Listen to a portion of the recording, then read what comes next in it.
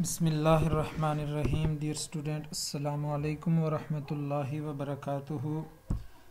آج کا ہمارا لیکچر نمبر نائن ہے Pakistan study intermediate part two اور اس لیکچر میں ہم چیپٹر نمبر فور کا ایک اہم کوشچن ڈسکس کریں گے۔ چیپٹر نمبر فور کا نام ہے پاکستان کو اسلامی جمہوریہ بنانے کے لیے کیے گئے اقدامات۔ اور اس چیپٹر کا کوشچن نمبر ون ہے کہ قرارداد مقاصد کیا ہے اور اس کی اہمیت اور اس کے بنیادی نقائد کیا ہے نکات کیا ہیں۔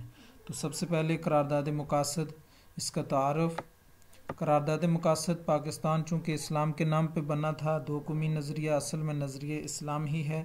تو دو قومی نظریہ جو اس کی بیس تھی، اسلام جو اس کی بنیاد تھی تو اس کو حقیقی اسلامی ریاست بنانے کے لیے پاکستان کی پہلی دستور سار اسمبلی نے ایک قرارداد منظور کی، جس کو قرارداد مقاصد کا نام دیا گیا۔ قرارداد کی منظوری کی تاریخ، پاکستان کی پہلی دستور سار اسمبلی نے بارہ مارچ انیس سو انچاس کو اس قرارداد کو منظور کیا اور قرارداد مقاصد منظور کرانے والے سربراہ ریاست یا سربراہ مملکت کا نام پاکستان کے پہلے وزیر اعظم نوابزادہ لیاقت علی خان نے اسے قومی اسمبلی کے اندر پیش کیا اور اس کو منظور کروایا۔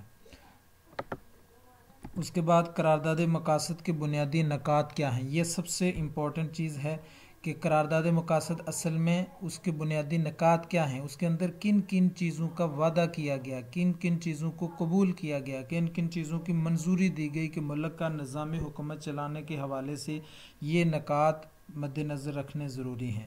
تو سب سے پہلے قرارداد مقاصد میں جس پوائنٹ کو ڈسکس کیا گیا، جس کو رکھا گیا پہلے نمبر پہ اللہ تعالیٰ کی حاکمیت۔ اللہ تعالیٰ کی حاکمیت سے مراد یہ ہے کہ اصلی مالک، حقیقی مالک ریاست پاکستان کا اور اس کے اندر نظام کا، تمام چیزوں کا اللہ رب العزت کی ذات ہوگی۔ اللہ رب العزت یہ اقتدار، یہ طاقت ایک امانت کے طور پہ نمائندگان پاکستان کو دے گا، عطا کرے گا اور پاکستان کے جو نمائندے یا حکمران ہوں گے، وہ اس امانت کو، جو اقتدار اللہ تعالیٰ ان کو عطا کرے گا، ایک امانت کے طور پہ سمجھتے ہوئے اللہ تعالیٰ کے مقرر کردہ حدود میں رہتے ہوئے ان کو استعمال کرے گا۔ کریں گے، یہ اللہ تعالیٰ کی حاکمیت سے مراد ہے۔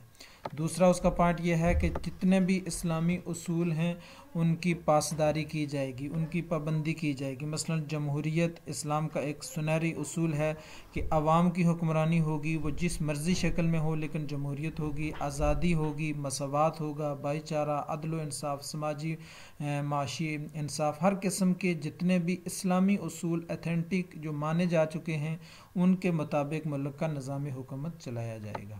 اسلامی طرز حیات، انفرادی طور پہ بھی اور اجتماعی طور پہ بھی پاکستان کے شہریوں کو، مسلمانان پاکستان کی زندگیوں کو اسلام کے مطابق چلانے کے لیے ان کو ایسا ماحول فراہم کیا جائے گا کہ کوئی انفرادی طور پہ اگر زندگی اسلام کے مطابق گزارنا چاہے تب بھی اس کو ریاست کی ذمہ داری کہ اس کو ویسا ماحول فراہم کرے اور اگر اجتماعی طرز پہ اگر کوئی کہیں پہ اسلام کو نفاذ یا اسلام کے مطابق کوئی زندگی گزارنا چاہتا ہے، کوئی گروہ، تو وہ اس کے مطابق گزار سکے۔ یہ ریاست کی ذمہ داری ہوگی کہ وہ ایسا ماحول کریٹ کرے کہ اسلام کے مطابق زندگی گزارنا آسان ہو جائے۔ اقلیتوں کے حقوق۔ پاکستان جب آزاد ہوا تو یہاں پہ اس وقت بھی اب بہت سی اقلیتیں تھیں اسلام مسلمانوں کے علاوہ بہت سی غیر مسلم اقلیتیں تھیں جن میں ہندو تھے، پارسی تھے، عیسائی تھے، سکھ تھے۔ تو ان تمام کو تمام حقوق جو ہمارا آئین دے گا بننے والا یا اس سے بھی پہلے ہمارا اسلام ان کو دے چکا تھا، اس بات کا وعدہ کیا گیا کہ تمام مذہبی اقلیتوں کو بغیر کسی رنگ و نسل کے فرق کے، بغیر کسی مذہب کے فرق کے ان کو تمام بنیادی حقوق عطا کیے جائیں گے۔ وفاقی نظام حکومت۔ اس بات کا وعدہ کیا گیا کہ ملک کے اندر جو نظام حکومت ہوگا وہ وفاقی طرز پہ ہوگا۔ وفاقی طرز کا مطلب یہ ہے کہ اوورال سٹیٹ کا ایک وفاق فیڈریشن ہوگی اور تمام صوبے جتنے بھی صوبے ہوں گے وہ اپنے اپنے معاملات میں کسی حد تک خود مختار ہوں گے۔ اوورال جو ریاست کا سیٹ اپ ہوگا وہ وفاقی ہوگا جس میں تمام صوبوں کو مکمل طور پہ آزادی حاصل ہوگی۔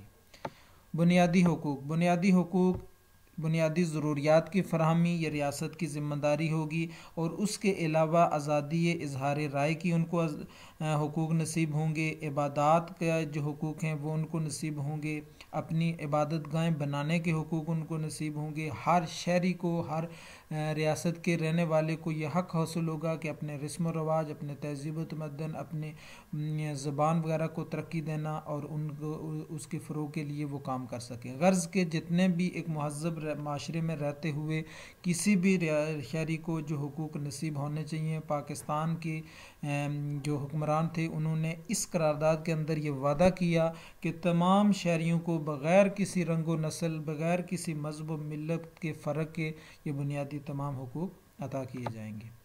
پھر آزاد عدلیہ، قرارداد مقاصد کے نکات میں سے ایک اہم نقطہ یہ تھا کہ آزاد عدلیہ ملک کے اندر کام یعنی جتنی ہماری عدالتیں ہوں گی، عدالتی سیٹ اپ ہوگا، وہ مکمل طور پہ اپنے فیصلوں میں آزاد ہوگا۔ اس کو کسی بھی قسم کی سیاسی مداخلت وہاں نہیں کی جائے گی۔ ان کے فیصلوں کے اندر ان کو پابند نہیں کیا جائے گا، بلکہ عدالتیں اور ججز جو بہتر سمجھیں گے، حق و انصاف کے مطابق، آئین پاکستان اور اسلام کے مطابق وہ فیصلے کریں گے، ان کو مکمل طور پہ آزادی نصیب ہوگی۔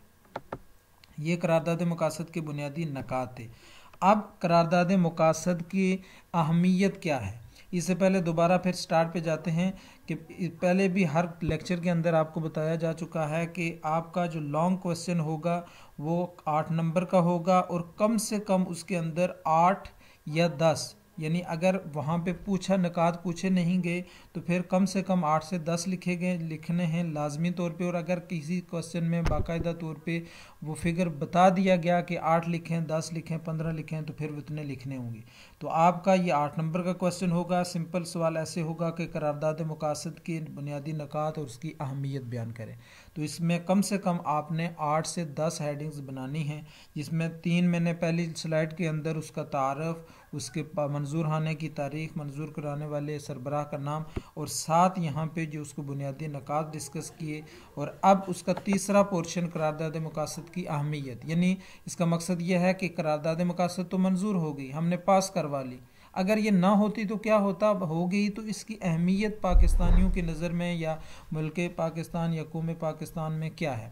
تو سب سے پہلے اس کی اہمیت یہ ہے کہ دستور سازی کا آغاز ہو گیا۔ اس سے پہلے پاکستان کے اندر دستور تھا ہی نہیں اور دستور ساری کی سازی کا ابتدا اور آغاز بھی نہیں ہوا تھا۔ تو اس کی اہمیت ہمارے نزدیک یہ ہے کہ یہ وہ پہلا قدم تھا یہ تھا کہ جس کی وجہ سے ہم نے اپنے دستور سازی یعنی قانون بنانے کے آئین بنانے کے لیے آغاز کر دیا۔ تو اس کی وجہ سے ہم نے پہلا قدم اٹھایا کہ اپنے آئین کی طرف جا سکے۔ دوسرا یہ ہے کہ نظریہ پاکستان کے مقصد کی تکمیل۔ نظریہ پاکستان کیا اصل میں نظریہ اسلام ہے؟ دو قومی نظریہ، یہ سب ایک ہی چیز کے دو نام ہیں۔ یعنی پاکستان اسلام کے نام پہ بنا۔ اب اس مقصد کو مکمل طور پہ حاصل کرنے کے لیے ہم نے باقاعدہ آئین بنا دیا، یہ قرارداد منظور کر لی کہ ملک کے اندر جو بھی نظام حکومت ہوگا، وہ اسلامی اصولوں کے مطابق ہوگا، اس کے خلاف نہیں ہوگا۔ تو اس کی وجہ سے ہمیں جو نظریہ پاکستان کا اصل مقصد تھا، اس کو ہم نے پایا تکمیل تک پہنچا دیا۔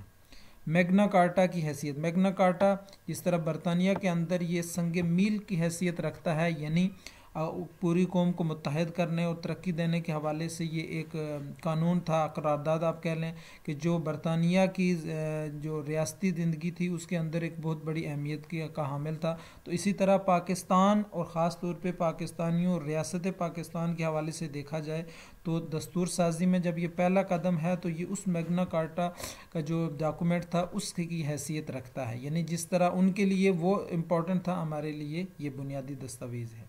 پھر دساتیر کا حصہ۔ سب سے اہم یہ ہے کہ قرارداد مقاصد کے جتنے بھی نکات تھے یا پورا جو ڈرافٹ تھا، اس کو تمام دساتیر 1956 1962 اور لاسٹ 1973 تینوں آئین، تینوں دساتیر کے اندر باقاعدہ اس کو پریمبل کے طور پہ، ابتدائیہ کے طور پہ شامل کیا گیا۔